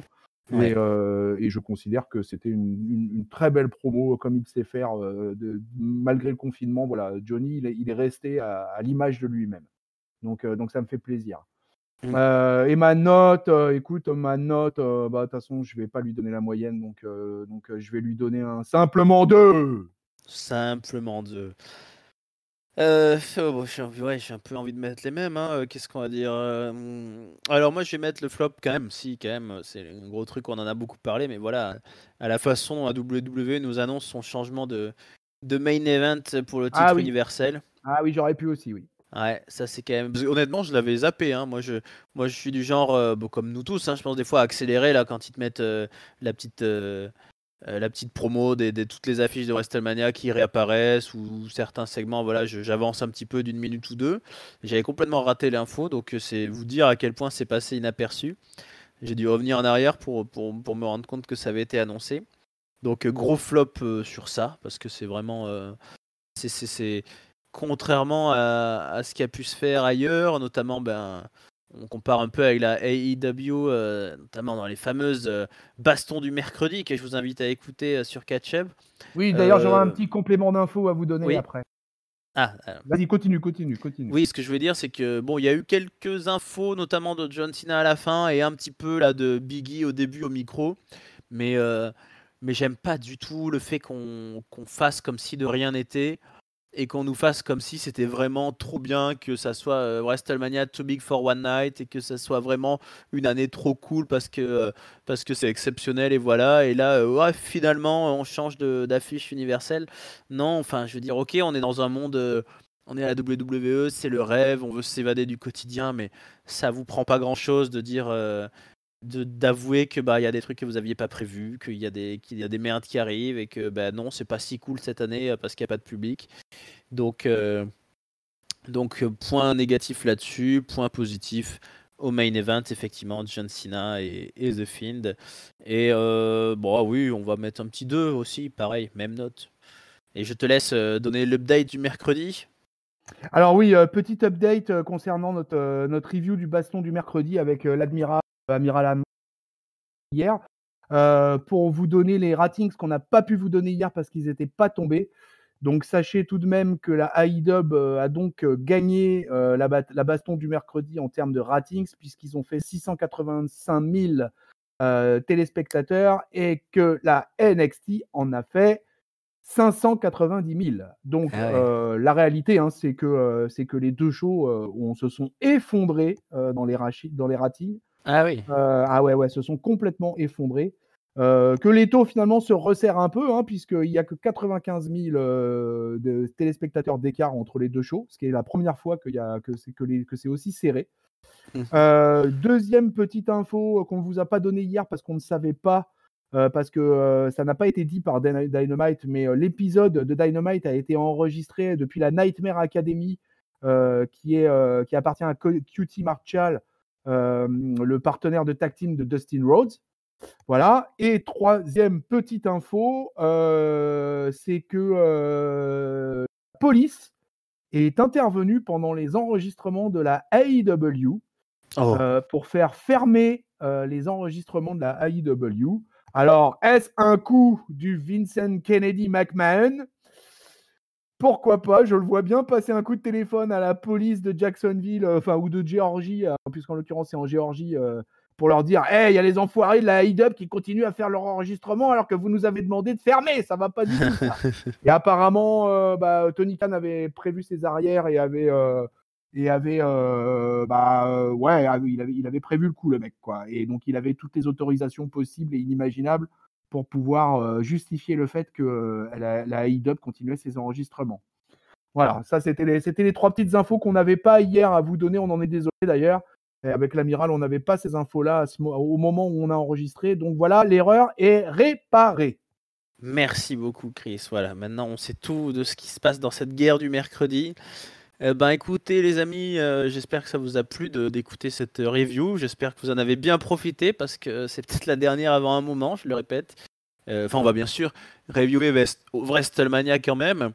Et justement, bah, à ce propos, avant de finir, Chris, on va faire ce que vous avez fait, ce qui a été fait pour Monday Night Raw. On va essayer de reprendre un peu les, les pronos. On va donner nos avis là pour ce, pour ce WrestleMania hors du commun. Alors, la carte. Alors, moi j'ai la carte sous les yeux si tu veux. Ouais, on fait tout du coup? Euh, on, fait tout, bah oui, on se prend pas la tête. Parce qu'on vous l'annonce, euh, cher peuple de catch-up, il n'y aura pas de. Euh, il y aura pas de, de, preview prono à catch-up. On a décidé qu'on faisait un total package dans ce SmackDown. Et puis, bah, vu la qualité du SmackDown qu'on vient de vivre, on, va, on, va, on va pouvoir parler. Donc, écoute, bah, si tu veux, comme je l'ai sous les yeux, moi, je te propose, j'annonce les matchs. Et puis après, chacun notre tour, on donne, on donne notre prono. Et puis voilà, yes. les jeunesses. Allez, c'est parti. Allez, on y va. Allez, on commence donc avec euh, les pré-shows. la low card. Elias contre Baron Corbin Euh, Raphaël. Baron Corbin. Baron Corbin Ah, j'ai pas dit que c'était le prono du cœur, hein. Ah non, non, non, non, bien sûr, hein, mais euh, mais euh, j'ai pas envie de parler plus que ça de ce match, mais je, Ouais. je- il a l'air un peu plus haut sur la carte et Laias euh, reste dans le rôle un peu du, du trublion, donc euh, Corbin va gagner, je pense. ouais. ouais, bah, je te suis, euh, je suis totalement raccord. Je, je donne Baron Corbin également. Ok. Euh, Otis contre Dolph Ziggler. Bah là, disons que la logique, l'aspect vengeance, la jeunesse aussi irait plutôt du côté d'Otis, même si ça me fait chier vraiment. Je préférais que Ziggler gagne. J'aimerais bien vraiment que qu'il n'y ait pas de justice et que voilà, le méchant ait volé et, et la, et la girlfriend euh, et gagne le match. En même temps, avec les dernières révélations, peut-être que Mandy Rose va retourner avec Otis, je ne sais pas. Bon, je vais jouer le, le cœur là pour le coup. Je vais, j'aimerais bien que Dolph Ziggler gagne. D'accord. Euh, moi, je vais donner Otis. Mais euh, Ouais. je ne dirai pas un mot de plus là-dessus parce que j'en ai strictement rien à carrer. Donc, euh, donc voilà, je suis triste pour Dolph Ziggler. C'est c'est c'est Mm. mon seul constat dans cette, euh, dans- dans cette rivalité. Ensuite, alors à l'arrière, on a un Alistair Black versus Bobby Lashley. Bon, Alistair Black, hein, là, je sais pas photo. Ouais. Moi, pareil, je donne ouais. Alistair Black parce qu'en plus, de toute façon, c'est quand même une honte puisque Bobby Lashley n'aura, ne sera même pas apparu, même pas par un caméo. quoi. C'est-à-dire que Ouais. le, mec, le mec est dans une feud dans laquelle il n'existe pas. Il, a pas. il passe son temps au plumard avec Lana et c'est tout ce qu'il fait depuis le début. Quoi. Donc, je ne lui en veux pas de passer son temps au plumard avec Lana, hein, entendons-nous bien. hein. Non, Mais, mais, ça, euh, ça, ça aide pas à, être en grande forme pour un match de catch, je pense. Je suis d'accord, ouais, un peu trop d'abus euh, de. un peu trop d'abus sous la couette euh, est Mm. néfaste à- à- aux performances euh, entre les cordes. Exactement. Euh, donc, on- bon, pour l'instant, on est, on, on est bien raccord. hein. Alors là, on commence à rentrer dans le dur maintenant. Ouais. Euh, Kevin Owens versus Seth Rollins. Euh, ça, c'est plus dur. Bah, Est-ce qu'ils vont modifier des, des matchs en fonction de la situation? Parce que euh, dans une feud normale, pour moi, là, c'est un truc qui était parti pour durer des mois, même peut-être jusqu'à SummerSlam ou je ne sais quoi. Donc, je mettrais Rollins gagner la première manche. Mais avec tout ce qu'ils ont raconté sur le, le côté Performance Center, etc., euh, non, je vais, quand même, je vais quand même laisser mon prono à Seth Rollins. D'accord. Eh ben, écoute, euh, moi, je te suis pour une raison que je considère que s'ils veulent pas casser le personnage du Monday Night Messiah, c'est vraiment Ouais. pas le moment de le faire perdre. Et, et en plus, parce que Kevin Owens, finalement, euh, je crois qu'il s'en tamponne de gagner ou de perdre cette rivalité. Ça Ouais. n'aura pas, ça n'aura pas d'impact sur la suite de sa carrière. euh, ça n'aura pas d'impact sur son aura. Et, et je pense que c'est surtout une victoire utile à Seth Rollins. Pour Kevin Ah. Owens, c'est c'est un peu en mode euh, Osef. Quoi. Et à son clan, ouais, ça va les renforcer. Et à son clan, ouais, ouais, ça va renforcer son clan, ouais, tout à fait, ouais, t'as raison. ouais. Mm. Euh, ensuite, alors là, là, attention, là, on a le Edge versus Randy Orton dans un Last Man Standing match. Bah, vu toute la rivalité, pour moi, le payoff, c'est la victoire de Edge. En plus, son retour euh, depuis 10 ans. Euh, là, ça me semble à peu près évident, même si pour moi, Randy, enfin, Randy apparaît beaucoup plus fort, euh, beaucoup plus affûté, beaucoup plus jeune dans toute la FUD. Edge, j'ai un peu peur dans un dans un one-on-one. Bon, le last man standing, ça laisse largement le temps de respirer. Puis en plus, ils vont pouvoir faire des coupures écran. euh, donc tant mieux pour eux. Mais euh, bon, la, justice de la FUD voudrait que Edge venge sa femme et son honneur, je pense. Ouais, moi, moi aussi, je vais donner, je vais donner une victoire de Edge. Euh, moi, je suis un peu inquiet pour l'intégrité physique de Edge. Euh, Mm. Je suis un peu inquiet pour son état de forme général. Je Mm. suis pas sûr qu'un mec qui a, qui a pas catché à grosse intensité depuis 9 ans puisse nous délivrer véritablement la marchandise euh, durant ce combat. Mais c'était un match qui m'aurait beaucoup intéressé aussi dans des circonstances normales. Mais je te, je te rejoins, je vais donner Edge aussi. Alors, derrière, on a le Undertaker versus Edge Styles dans un Boneyard match. Voilà, c'est un peu pareil. hein, C'est un peu la même histoire en fait. Euh, je pense que l'Undertaker va venger son honneur et sa femme. Et euh, Edge Styles a bien la gueule à se faire abattre le caquet. Au début, je pensais que euh, Styles allait l'emporter. J'ai cru un instant, mais l'ami Giscal m'a convaincu du contraire. Ça paraît assez logique quoi, qu'il soit là juste pour se faire kiffer sur ce Dream Match, qu'il en prenne plein la gueule et que, et que le Deadman gagne. Eh ben écoute, euh, c'est effectivement si on avait eu un match euh, Undertaker versus AJ Styles, Mm. euh, là en l'occurrence on a un match Mark Calloway versus Allen Jones. Ouais. Et voilà, c'est une feud personnel euh, hors kayfabe quasiment. Et donc c'est pour cette raison que je vais donner l'Undertaker vainqueur. Mais si on était resté dans des personnages euh, qui, qui avaient respecté le kayfabe, eh ben moi j'aurais donné Jay Styles vainqueur. Ouais. Mais, euh, mais là, oui, tu as raison. Et puis Boneyard match, de toute façon, je pense que c'est largement à l'avantage de l'Undertaker. Il va être sur son terrain. Oui. Euh, ce qui n'est pas le cas du Styles. Donc, euh, donc voilà, je, moi aussi je donne l'Undertaker. Mm. John Cena versus The Fiend dans un Firefly Funhouse match. C'est pas évident, mais euh, euh, c'est pas évident parce que c'est Johnny Boy. Mais euh, je pense que là, six ans après, dans cette stipulation-là en plus, et avec le personnage du Find, là, c'est plutôt un. Surtout après cette horrible perte du titre du Find, euh, euh, il, faut, il, faut, il faut le rebooster un peu ce monstre. Donc je pense qu'il va, il va, je va obtenir sa revanche. Je vois The Find gagner. C'est pas facile et John Cena a fait une très bonne promo ce soir qui me laisserait penser l'inverse, mais je pense que John Cena va perdre. D'accord, eh ben moi je donne John Cena qui gagne. D'accord. Euh, parce que moi je pense que la WWE, on n'a plus grand chose à foutre du personnage du film sur certains aspects. que, euh, à l'image de comment elle lui a fait perdre le titre de manière catastrophique. Et, euh, et du coup, moi, j'ai j'ai plutôt tendance à penser que le Johnny Boy va gagner, mais qu'ils vont, euh, il va y avoir des- un ressort sc- scénaristique derrière tout ça, que ça va être un match filmé un peu en mode cinéma. Et, Ouais. euh, et que la WWE va pas avoir envie euh, que son poster boy perde pour rajouter à, tu vois, à l'espèce de, de- comment dire, de, vrai. de- de marasme général dans lequel on est, et ils se disent, ah bah au moins si John Cena gagne, voilà, tous les enfants ils vont être heureux, et euh, voilà, les- les- tous les enfants vont voir le, le gentil Johnny Boy gagner face au très très très très méchant euh, Fiend. Donc moi je vais donner John Cena vainqueur. Alors Ouais, derrière ça, on ça se enchaîne. comprend. Voilà. Derrière, on enchaîne avec euh, le match pour les titres de championne par équipe où il n'y a pas de stimulation, stipulation particulière. J'ai stimulation.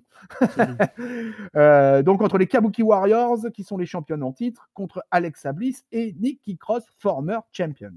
Il n'y a pas de stipulation, mais quand il y a Alexa. Bliss, il y, a- il y a de la stimulation. Moi, j'aime bien Alexa Ouais, Bliss. et moi j'aime bien Alexa Bliss ouais, aussi. Ouais. Et bah, je pense qu'elles vont gagner. Je les trouve sur une bonne dynamique là, les deux. Euh, elles sont populaires, elles sont très très bonnes.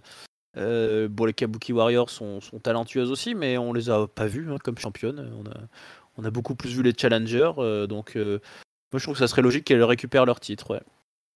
D'accord. Eh ben moi, je vais encore à nouveau être de l'autre côté barrière, puisque moi je vais donner les Kabuki Warriors qui conservent. D'accord. Parce que euh, je trouve que euh, Asuka a fait grave le job ces dernières semaines. C'est vrai. ouais. euh, Qu'il l'utilise beaucoup et c'est assez surprenant qu'il lui donne d'ailleurs autant de micros. Mm. c'est, c'est- c'est incroyable le temps de micro qu'aura eu Asuka ces dernières semaines. Euh, en plus, en japonais, c'est d'autant plus incroyable. Et, euh, et, euh, je sais pas pourquoi, mais euh, je pense qu'ils vont pas vouloir finir le règne euh, des japonaises. Et ils Mm. vont vouloir que ça se finisse dans un cadre euh, legit et dans un cadre plus traditionnel une fois qu'on sera sorti de ce confinement d'ici 2025. Donc, euh, donc je pense que les Kabuki Warriors vont conserver. Ah, et on une- continue. ouais. Vas-y, vas-y, excuse-moi. Je disais, c'est une bonne remarque. euh, je pense qu'il y a des, des affiches dont les résultats vont changer parce que euh, parce qu'ils vont booker sûrement une revanche ou autre dans des conditions meilleures et, et Ouais. notamment peut-être beaucoup de, de de comment on appelle ça oui de, de feel good ou de ou d'autres moments euh, de- très riches en intensité des changements de ceinture ou tout ça qui vont peut-être être repoussés à à des jours meilleurs donc peut-être qu'on aura un statu quo hein. ça sera intéressant de voir le bilan à post WrestleMania combien de ceintures ont changé de main ouais Ouais, clairement. Ouais. Et puis en plus, si tu veux, WrestleMania, c'est quand même traditionnellement souvent un face fest. ouais Euh, voilà, les faces sont souvent à la fête. Euh, bon, là, en, bon, en l'occurrence, sur le match dont on parle, les Kabuki, euh, les- c'est les Kabuki qui sont des heals, hein, mais, euh, Ouais. mais effectivement, ta remarque, ta remarque, elle est pertinente comme d'habitude, mon Raphaël. Quoi. Et, euh, Merci. Et voilà, il y a, y a de fortes possibilités pour que derrière, il y ait des matchs revanche, euh, voilà, qu'on qu'on nous remette un peu euh, de la sauce de tout ça. Quoi. Mm. Alors, on continue avec les championnats par équipe. Euh, donc, match pour les titres de champion par équipe de SmackDown. Ladder match entre le Miz, John Morrison, les Uso et le New Day.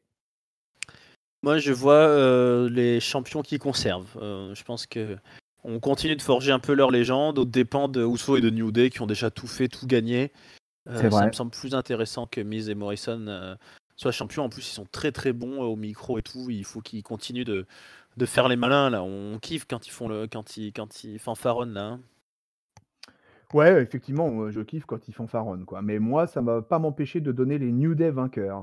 Ah oui. Euh, ouais, parce que moi, je reste toujours dans l'état d'esprit. Euh, je pense aux enfants et, et, je pense que vu euh, la sinistrose actuelle, euh, la WWE se dit ben, euh, pour faire kiffer les enfants devant leur télé et les faire mmh. rester devant leur télé, rien de tel qu'une bonne petite victoire des, des New Day et leurs boutilloses pour donner des sourires sur les visages.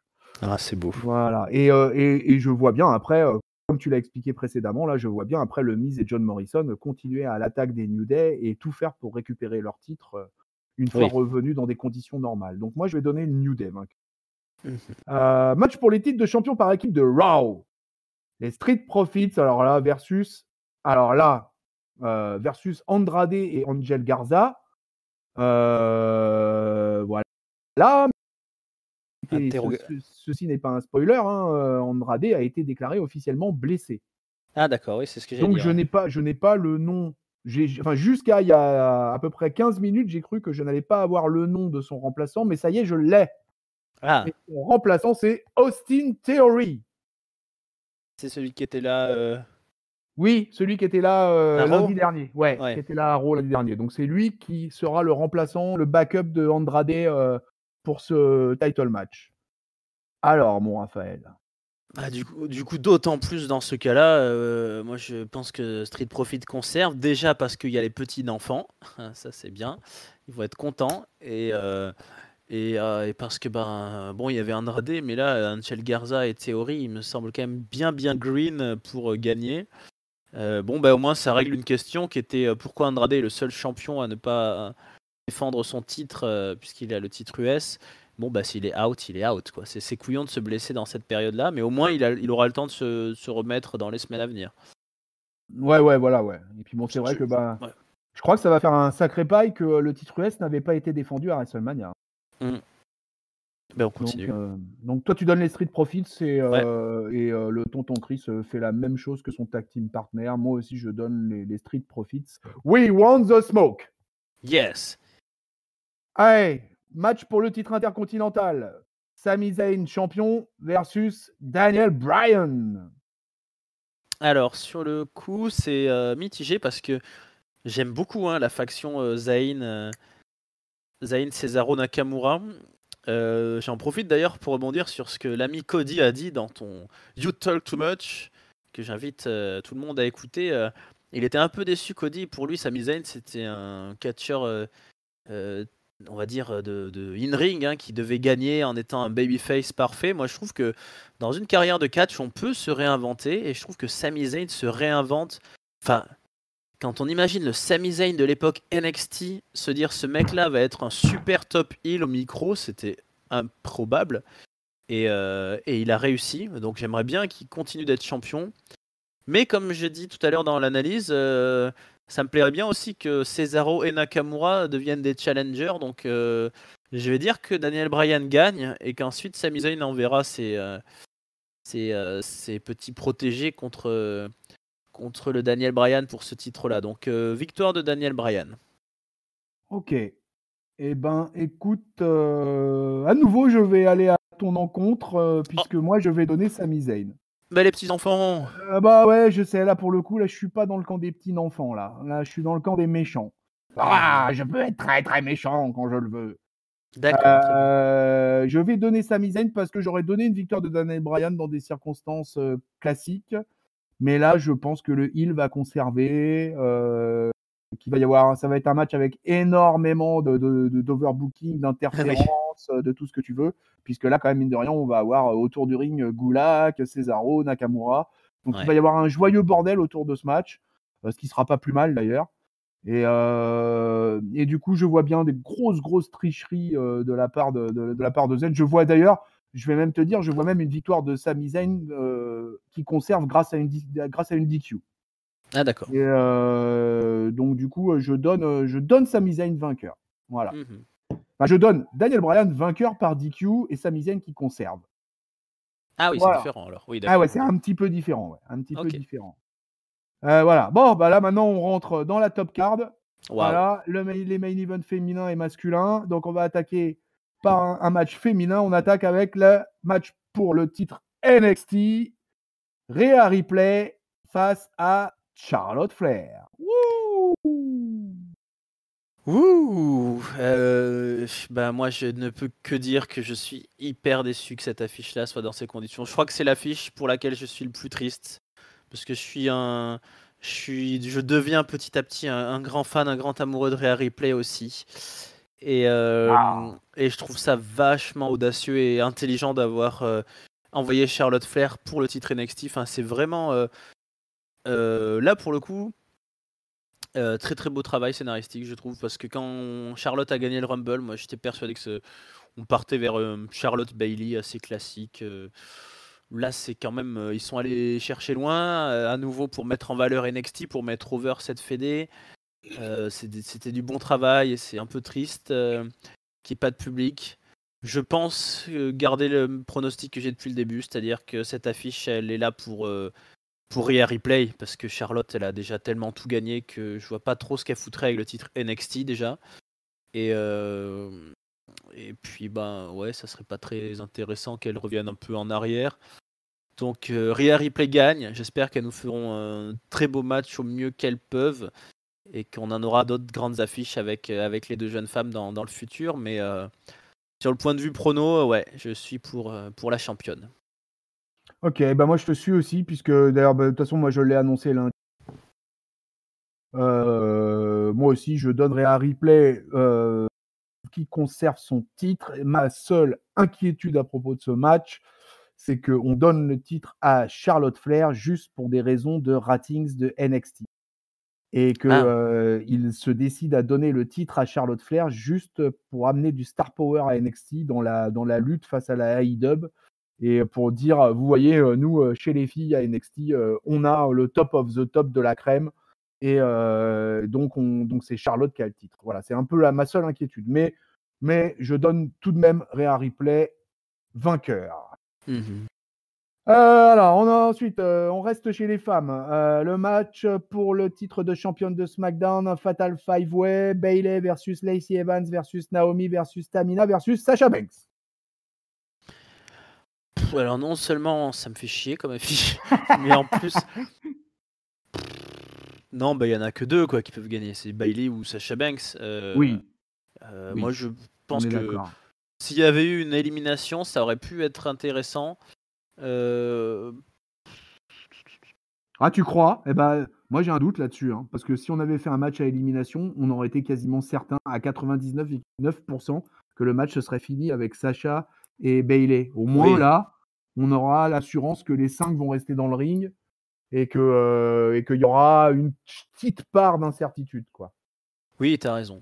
Alors le, truc qui peut arriver, c'est un moment où Bailey est à hauteur du ring, Sacha Banks qui réussit à placer quelque chose et à, et à lui prendre un peu le titre, mais sans. De toute façon, je pense qu'il n'y aura pas un pin euh, direct de l'un contre l'autre. Hein. Ça sera, euh, ça sera voilà, c'est c'est sûrement Naomi ou Tamina ou Leslie Evans qui va qui va faire les frais de, de la feud. je suis d'accord. Je, vais je vais quand même parier pour pour la championne qui conserve quand même. Bailey va garder le titre je pense. Mais c'est vraiment comme ça pour dire un nom. Ça pourrait très bien être Sacha Banks qui lui vole discrètement euh, aussi. Ouais. Bah, moi, je vais donner Sacha Banks. pour, faire plus, pour faire plaisir à Ringside, en fait. Je, je, Pour, ah pour, renforcer l'amour de Ringside pour Sacha Banks. C'est vrai. Voilà, ça, bah, sera son, ça, sera son, kiff de la nuit, comme je sais qu'il va le regarder en live. Donc, mmh. euh, donc ça sera son kiff de la nuit euh, d'avoir Sacha Banks qui brandit la ceinture de SmackDown bien haut. Voilà. Euh, comme quoi, hein, des fois, j'ai pas beaucoup d'arguments. Hein. C'est sûr. Allez, on, termine avec les femmes pour le, match pour le titre de la championne de Raw. Et ça sera donc Becky Lynch face à Shayna Baszler. Euh, moi, je vois Becky Lynch gagner. Je vois pas Shayna Baszler avec l'aura nécessaire pour. Mais qui battra Becky Lynch en fait? C'est ça. Si c'est pas Shayna. Moi, pour moi, la seule chose qui peut mettre fin au règne de Becky Lynch de manière un peu légite et qui fasse pas trop contestation, c'est un Money in the Bank et c'est un cash-in et un truc comme ça. Parce qu'en un contre un, il faut qu'elle reste de mat, quoi. Il faut qu'elle reste intouchable. Je suis pas un, très un gros fan de Shayna Baszler. Je, j'accepte complètement son personnage de, tueuse de domination. J'ai toujours trouvé à NXT que ces matchs, c'était, ouais, c'était technique, c'est un peu chiant des fois. Enfin, c'est plus la, grande époque de, des Asuka ou des Horsewomen. Donc, je suis pas un grand, grand fan de Shayna Baszler. Donc, euh, Becky Lynch, euh, pour moi, euh, Becky. Je te suis. Moi aussi, je donne Becky vainqueur. Je m'en suis expliqué mardi. et moi, mes trop de. Parce que c'est que je pense que Becky va avoir droit à un très long règne à la CM Punk ou à la Brock Lesnar. bon, malheureusement, Money in the Bank, j'ai peur qu'on n'en ait pas cette année, vu que Money in the Bank, en général, c'est au mois de juin. Mm. Euh, et, que comme les États-Unis ont quand même pas mal de, ont au moins 15 jours de retard sur l'Europe euh, rapport au Covid, euh, donc je sais pas si on aura un Money in the Bank cette année. mais moi, je vais donner, je vais donner aussi Becky vainqueur parce que pour qu'elle soit là pour renforcer complètement ce titre de, de, de, la, de, bah, de la championne indiscutable là, depuis plus d'un an maintenant et, et, qui, voilà, et qui est au top de la chaîne alimentaire. Et malgré les, les, esprits chafouins de certains, moi je trouve qu'elle fait un run magnifique. Ah oui. Et qu'elle mérite là où elle est à l'heure actuelle. Mmh voilà, et ben écoute, on arrive dans les deux derniers matchs. les deux derniers matchs. on va par le match de SmackDown pour le titre de champion universel. Goldberg versus Braun Strowman. Eh, c'est dur là. C'est pas facile parce que en temps normal avec Roman Reigns, moi je mettais Roman Reigns de suite, enfin Goldberg. Ah bah ouais, moi aussi. Ouais, si, si, Roman Reigns avait été là, moi aussi, comme toi, j'aurais donné Roman Reigns. Voilà, ça, ça paraissait évident. Maintenant là, euh, d'ailleurs, ça me fait remarquer que euh, il y a quoi, il y a un an et demi, quand Roman Reigns euh, a laissé tomber du jour au lendemain son titre mondial pour pour pour aller se soigner de, la de la du retour de sa leucémie, bah c'était pareil, c'est Braun Strowman qui l'avait remplacé au pied levé pour affronter Brock Lesnar, ça devait être en Arabie Saoudite justement. Et il n'avait pas gagné, hein, ils avaient donné le titre, le titre à, à Lesnar. Donc est-ce qu'ils vont pas faire ça là aussi? Est-ce qu'on va pas dire allez on repousse de 2-3 mois, euh, on trouvera bien une date pour Goldberg euh, parce que Roman Reigns n'est pas malade en soi, enfin a priori aux dernières nouvelles il, pourra recatcher dans deux mois, c'est juste euh, qu'il craignait la contagion. Donc puis ça me ferait chier que Braun Strowman son premier titre mondial quand même c'est un catcheur auquel on a un peu de sympathie, qui a une carrière un peu bizarre hein, de powerman euh, qui gagne pas souvent non plus, mais qui a des, beaucoup de moments, voilà, des. Non, je pense que. Puis ça me fait chier parce que ça va forcément être court, donc euh, Braun Strowman se fera sûrement squatcher. Euh, je pense que Goldberg va gagner quand même, mais ça me fait un peu chier. Ouais, je, te suis, je te suis sur ce truc-là aussi. voilà, tout ton analyse me paraît juste, et, moi aussi je vais donner Goldberg qui conserve son titre. Ouais, pas ça me, ça, ça m'emmerde, ça m'intéresse pas, euh, ça me, ça m'attriste même par moment, mais mmh. euh, je vais donner Goldberg qui conserve. Allez, et on arrive enfin. elle est longue hein, cette carte de WrestleMania. Hein. Et donc on arrive enfin, voilà. Dire au main event, main mmh. event, ben, parce que j'espère que ça va être le main event quand même de ce WrestleMania 36. Et donc, Brock Lesnar versus le bel homme, le psychopathe écossais, Drew McIntyre. Là, j'ai plutôt envie de quand même conserver mes billes sur Drew McIntyre que j'avais au début. Mais c'est pas gagné. Non, c'est pas gagné, ouais. C'est pas gagné. Euh, moi, je le trouve euh, très réussi comme euh, construction d'un challenger. Peut-être une des meilleures de construction de challenger d'un d'un vainqueur du Rumble de ces dernières années, euh, très crédible. Voilà, Brock Lesnar a fait, euh, il s'est bien couché pour euh, pour mettre over Drew là ces dernières semaines. les circonstances sont un peu spéciales, c'est sûr. rien n'empêche un rematch. En plus, voilà, c'est un peu même l'habitude de Brock Lesnar, hein, que ce soit contre contre Reigns ou contre Rollins, il a souvent affronté plusieurs fois ses challengers, donc on peut très bien avoir un, rematch à SummerSlam que Drew remporterait. Mais comme tu l'as dit, on est dans un WrestleMania, on est dans un Face Fest, et je pense qu'il y a vraiment euh, de la part de la WWE le côté euh, on fait comme si, et c'est ce qu'on a beaucoup vu ces dernières semaines, on fait comme si euh, tout le monde fait semblant que c'est trop cool et tout le monde fait semblant que ça va être un trop bien WrestleMania. Donc je pense que comme message final pour dimanche soir, voilà le dernier match de tout ça, euh, je pense qu'on va faire comme si et on va foutre Drew McIntyre gagner. on va peut-être même mettre des pyros ou je sais pas quoi ou des trucs qui explosent. Bon, pas trop fort dans le full style, mais, ah ouais, euh, hein. mais euh, je pense qu'on va faire comme si et qu'on va rester sur ce symbole-là d'une ère nouvelle qui s'ouvre. Et donc je vois bien Drew finir. parce que sinon, comme tu l'as dit, WrestleMania, ça finit toujours, toujours, tout, tout le temps. Ça enfin à ma connaissance en tout cas, ça a toujours fini quand même sur un, sur un face qui célèbre. Que ce soit The Rock, que ce soit Roman Reigns, que ce soit John enfin ces dernières années, voilà, c'est un face qui est parfois euh, discuté, hein, Roman Reigns. Mais euh, disons que dans la, dans la kayfabe, c'était ça. Donc moi je vois Drew McIntyre, euh, image finale de, de ce de ce WrestleMania. Enfin oui, non, t'as raison d'ailleurs. Enfin, il y a eu le il y a eu le fameux euh, Reigns Lesnar que Lesnar a gagné. Et, mais bon, là, il n'y avait plus trop de gentil ni de méchant. C'était vraiment un, un, WrestleMania spécial. Jusqu'à l'été, là, il, peut nous en il pourra nous en parler. Il était dans la salle. Dans la salle. Ouais, il peut témoigner. Toi, tu vois Lesnar plutôt? Euh, Non, non, non. Moi, ah, je, comme toi, moi, je vois Drew McIntyre. Alors, moi, je suis. Euh, tu, pour reprendre ce que tu disais sur le match de titre NXT, de ta tristesse de, du Réa Replay Charlotte Flair, alors là, moi, pour le coup, là, c'est vraiment le match dans lequel moi je suis dans un océan de mélancolie, dans une infinie tristesse. Mmh. Euh, c'est euh, pour moi, c'était le momentum du bel homme. Ouais. Euh, c'était, c'était son année, c'était, c'était, c'était son show. ça devait être son match. je suis vraiment, je ne m'en remets pas d'ailleurs. Vraiment, vraiment, moi, je suis mais tellement malheureux pour l'Écossais. Je, je, trouve que bah voilà que, que, voilà ça lui aura totalement tué tué tout, tout, tout son taf depuis un an et demi, depuis mmh. son retour dans le main roster. voilà, il n'est en aucun cas responsable de ce qui se passe. Hein. tout ça, c'est la faute des officiels de, de, de la WWE qui n'a qui s'est entêté à vouloir maintenir ce WrestleMania et qui n'a pas voulu le reporter. moi, j'ai toujours fait partie de la team reporter WrestleMania. Je mmh. continue à en faire partie et je continue à être très en colère sur le maintien de ce show. Euh, et donc, bah, fatalement, ce Brock Lesnar versus Drew McIntyre me, me, détruit le moral. Et, euh, vraiment, vraiment, j'ai vraiment de la peine pour Drew McIntyre. Voilà, voir un Européen euh, brandir le, titre majeur bien haut face à la bête ultime de ces, de ces quasiment 20 dernières années, face au boss final, ça aurait été vraiment magnifique, quoi, avec 80 000 spectateurs euh, et, je pense qu'on aurait mais kiffé, mais alors d'une puissance.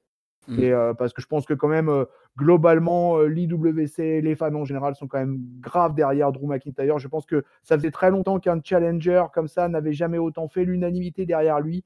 J'irais presque remonter jusqu'à Daniel Bryan à WrestleMania 30 pour, pour, retrouver un mec avec qui est autant la hype du public derrière lui. Bah, Becky Lynch, quoi, c'était l'an dernier. Ouais, ou Becky Lynch au niveau des femmes, quoi. Mais au niveau masculin, pour moi, tu vois, il faut, vraiment remonter. Kofi Kingston, l'année dernière, avait, avait une hype. Mais là, vraiment, Drew McIntyre a vraiment tellement fait une démonstration de force, a vraiment été tellement bon au Royal Rumble euh, et a été tellement bon par la suite dans les promos, dans ses cassages de mâchoire, dans, dans tout ce qu'il a fait, euh, tout ce qu'il a fait au, fur et à mesure des semaines, que c'est vraiment pour moi le, le, grand moment. Ça va être un grand brisqueur pour moi, quoi, ce, match. Mm. Donc voilà. Et eh ben voilà, euh, voilà mon Raphaël, on est arrivé à la fin de cette, de cette incroyable et interminable carte de WrestleMania 36. Ah bah too big for one night. Hein. Mm. Eh ouais. Non mais ça, ça va être, ça va être intéressant. Comment dire, intéressant.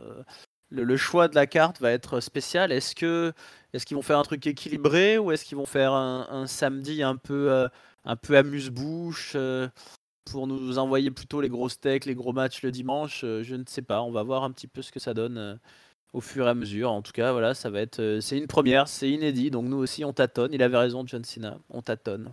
Eh ouais, eh ouais. Le Johnny Boy a toujours raison, te dirait Riscal, de toute façon. Ouais. Ah, voilà. Bon, ben on finit, hein, on a fini Bah ouais, on est arrivé au bout. Hein. Bah, n'hésitez pas, euh, dans le peu de temps que vous aurez, visiblement, parce qu'entre la, la- la- la sortie euh, de cette analyse et puis euh, le WrestleMania du samedi, il va pas y avoir beaucoup de temps, mais donnez-nous vos avis, vos pronos. euh, si vous êtes d'accord ou pas avec nous, si vous avez bien aimé ce, dernier SmackDown avant, avant le shutdown. Et puis, ben voilà, nous on va en rester là, là-dessus. Ben voilà, super, on a fait un. On a tenu la baraque, hein. merci tonton Chris pour tout ce travail et pour cette lecture de cartes. Ah bah merci à toi, mon Raphaël.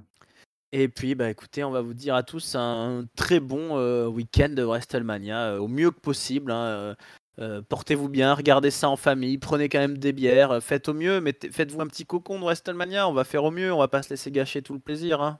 Bah non, on va essayer, ouais. On va essayer quand même de rester un petit peu dans la positivité. Voilà. Bon, ben bah, voilà, ben, merci à tous pour votre écoute. Oh.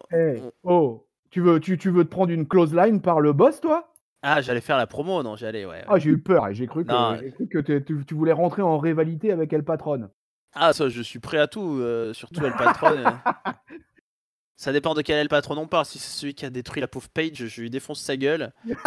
si si c'est celui qui nous fait nos vignettes et tout, euh, non, ça va, il est, il est gentil quand même. Excellent. Mais euh, et ben donc oui, voilà, écoutez-nous, euh, podcastez-nous, téléchargez-nous, euh, audio, euh, Spotify, iTunes, PodCloud, voilà tous les tous les tous les sites de podcast, euh, YouTube pour la version audio bien sûr. Euh, Laissez-nous des j'aime, des pouces, des cœurs. Faites-nous partager à vos amis qui s'ennuient pas pendant ce confinement quand même, ils ont tout catch-up à écouter.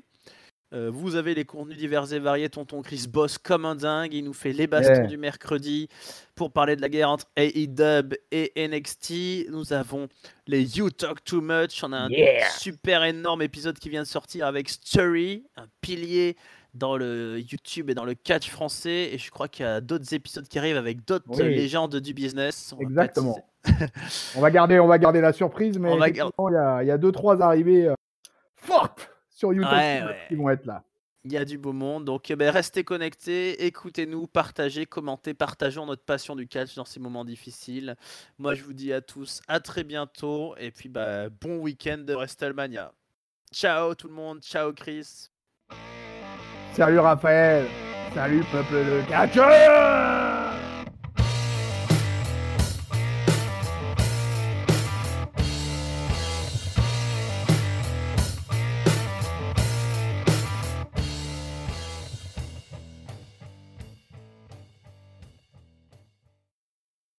Oh my god, je crois la review de SmackDown la plus longue ever.